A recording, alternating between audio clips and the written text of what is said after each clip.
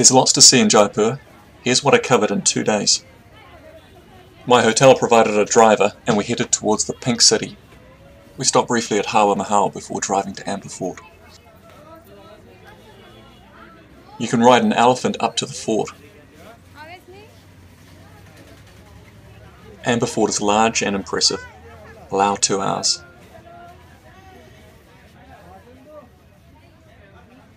Here are the fort's flower beds.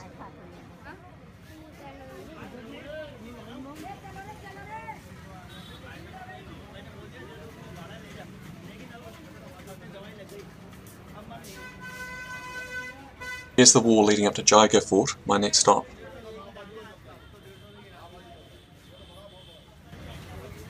Jaigarh has the world's largest cannon on wheels. I got pretty close to some monkeys. The views are pretty impressive. Here's Amber Fort, you can see the size of it. My driver spotted these and we stopped, taking a break on the way back down from Jaigarh. Quick photo opportunity in front of Jal Mahal. After lunch we went to the City Palace. Pretty tired by the stage, still lots to see.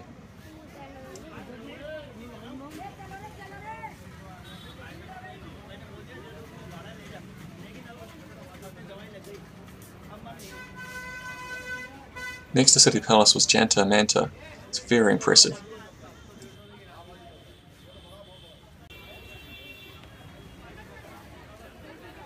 Last stop for the day was Albert Hall. I was more impressed by how it looked rather than what was inside it. Took some shots of the locals and surrounds. These kids asked to have their picture taken. That evening I used Uber to get to Chokhi Dhani and take in local culture. The next morning I used a rickshaw to get to the steps leading up to Nagara Fort. I met some locals at the top. I arrived before the fort opened, so had some time to kill.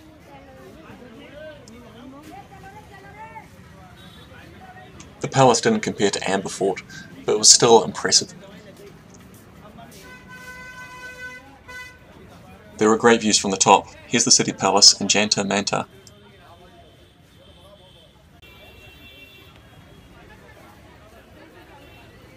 My next stop was Garh Ganesh Temple. I got to the road leading up by motorbike and rickshaw. It took maybe 20 minutes to walk up and the views were pretty stunning. By now it was around noon and it was time to head back down.